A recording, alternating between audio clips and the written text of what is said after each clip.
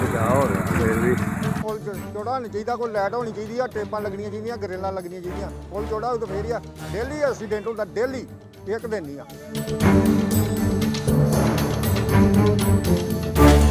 ਸਾਵਧਾਨ ਹੌਲੀ ਚੱਲੋ ਅੱਗੇ ਪੁਲ ਤੰਗੇ ਪੁਲ ਤੰਗੇ ਪਰ ਕਿਸ ਕੋਲੋਂ? ਪੁਲ ਸਰਕਾਰ ਤੋਂ ਤੰਗੇ ਜੀ ਹਾਂ ਆਪਣੀ ਜਾਨ ਦੀ ਰਾਖੀ ਆਪ ਕਰੋ ਕਿਉਂਕਿ ਪੁਲ ਸਰਕਾਰ ਤੋਂ ਤੰਗੇ ਬੱਸ ਡਿੱਗੇ ਜਾਂ ਫਿਰ ਕਾਰ। ਗਿਲਾ ਨਹੀਂ ਕਰਨਾ, ਕਿਉਂਕਿ ਪੁਲ ਸਰਕਾਰ ਤੋਂ ਅੱਗੇ ਹੀ ਤੰਗੇ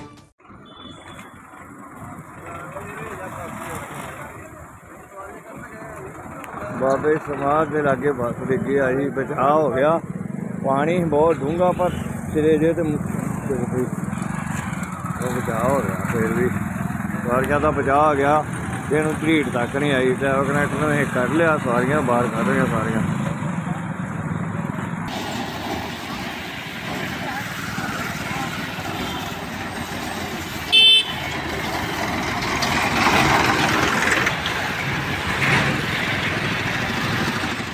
ਜੀ ਹਾਂ ਇਹ ਤਸਵੀਰਾਂ ਨੇ ਅੰਮ੍ਰਿਤਸਰ ਦੇ ਚੱਬਾ ਦੀਆਂ ਜਿੱਥੇ ਤੜਕਸਾਰ ਇੱਕ ਰੋਡਵੇਜ਼ ਦੀ ਬੱਸ ਗੰਦੇ ਨਾਲੇ 'ਚ ਪਲਟ ਗਈ ਸੀ।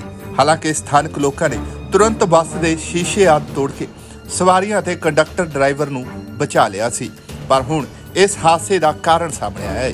ਇਲਾਕਾ ਵਾਸੀਆਂ ਮੁਤਾਬਕ ਇਹ ਹਾਦਸਾ ਇਸ ਲਈ ਹੋਇਆ ਕਿਉਂਕਿ ਨਾਲੇ ਤੇ ਬਣਿਆ ਹੋਇਆ ਪੁਲ ਬੇਹੱਦ ਤੰਗ ਹੈ ਜਿਸ ਕਾਰਨ ਆਏ ਦਿਨ ਕੋਈ ਨਾ ਕੋਈ ਹਾਦਸਾ ਹੁੰਦਾ ਹੀ ਰਹਿੰਦਾ ਹੈ। ਹਾਂਜੀ ਅੰਕਲ ਕੀ ਨਾਮ ਹੈ ਜੀ ਆਪਣਾ? ਦਿਲਬਾਗ ਸਿੰਘ। ਹਾਂਜੀ ਕਿੱਥੇ ਐਕਸੀਡੈਂਟ ਹੋਇਆ ਜੀ ਸਵੇਰੇ? ਸਵੇਰੇ ਉਹ ਪਰਲੇ ਬੰਨੇ ਹੋਇਆ ਤੇ ਮੁੜ ਕੇ ਫਿਰ ਬੱਸ ਇਸ ਬੰਨੇ ਡਿੱਗ ਗਈ ਹਾਂਜੀ। ਤੇ ਕਿੰਨੇ ਜਣੇ ਬੈਠੇ ਸੀ ਬੱਸ ਦੇ ਵਿੱਚ 35 ਤੋਂ 40 ਤੇ ਕਿਸ ਤਰ੍ਹਾਂ ਬਚਾਅ ਕੀਤਾ ਜੀ ਉਹਨਾਂ ਦਾ? ਬਾਰੀ ਤੋੜ ਕੇ ਫਿਰ ਕੱਢੇ। ਤੇ ਕੀ ਕਹਿਣਾ ਚਾਹੁੰਦੇ ਹੋ ਕਿੰਨੇ ਐਕਸੀਡੈਂਟ ਹੋ ਰਹੇ ਨੇ ਲਗਾਤਾਰ ਲਗਾਤਾਰ ਵੱਧ ਹੋ ਰਹੇ। ਆ ਡੇਲੀ ਹੋ ਰਿਹਾ ਡੇਲੀ। ਕੋਈ ਨਾਗਾ ਪੈਂਦਾ ਕਿਤੇ। ਹਾਂਜੀ। ਪ੍ਰਮਾਤਮਾ ਵੱਲੋਂ ਵੀ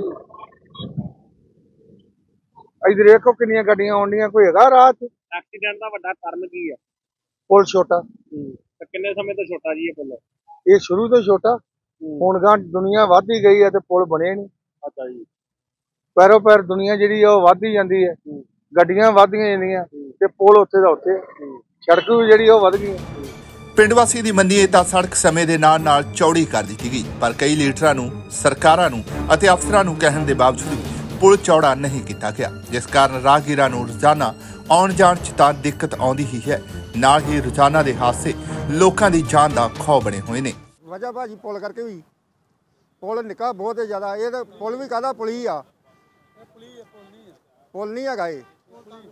ਬਹੁਤ ਤੰਗ ਪੁਲ ਤੁਸੀਂ ਵੇਖ ਸੜਕ ਮਗਰੋਂ ਚੌੜੀ ਆ। ਗਾੜੀਆਂ ਪੁਲ ਹੈ ਹੀ ਨਹੀਂ ਆ, ਇੱਥੇ ਤਿੰਨ ਤਿੰਨ ਘੰਟੇ ਦੁਨੀਆ ਫਸੀ ਰਹਿੰਦੀ ਜਾਮ ਦੇ ਵਿੱਚ। ਆਉਂਦਾ ਜਿਹੜਾ ਸੁਣ ਜਾਂਦਾ, ਕੋਈ ਆਉਂਦਾ ਤਾਂ ਨਹੀਂ ਆ।